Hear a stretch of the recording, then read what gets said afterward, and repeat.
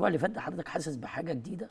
يعني أنا إحنا النهارده الخميس أنا الاجتماع اللي حصل من شوية ما بين آه، السيد الفريق آه، كامل الوزير وزير الصناعة والنقل مع مجموعة آه، آه، منصور وده رجل أعمال كبير ومجموعة استثمارية كبيرة ومجموعات استثمارية كبيرة والراجل هيلتقي بكل رجال الأعمال في مصر.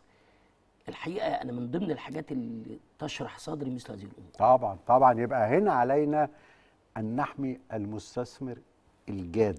آه. وإن أي منفعة أو ميزة أو هبة بتصب في الاقتصاد المصري وليس في جيوب أي شخص ايا كان. فهنا ده يعني اعلاء قدر ده في أمريكا في فترة من الفترات إذا كان الشيء بالشيء يذكر أو إذا جاز لي أن أقول كانت الرشوة بتصل إلى يعني يوصلوا لحد مكاتبهم ولحد بيوتهم وحاجات كده.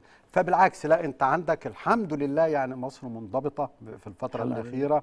وعندك انت أعلى معايير الشفافية بتطبقها بس انت بتأكد لأن المرحلة القادمة هتبقى مرحلة مختلفة. وانت داخل على مرحلة جديدة جمهورية جديدة فبتعيد ترسيخ المبادئ دي من جديد. ودي مبادئ مهمة لحماية الاقتصاد الوطني وحماية المستثمر وحماية رجل الأعمال ال- الشريف وحماية الموظف الحكومي الجاد. وأهم من كل هذه الأمور إنك بتقطع دابر الشائعات. إحنا عندنا ادي القواعد منتهى الإفصاح والشفافية. فأنت والإفصاح والشفافية دي أنسب مناخ للقضاء على صحيح. الشائعات. طيب.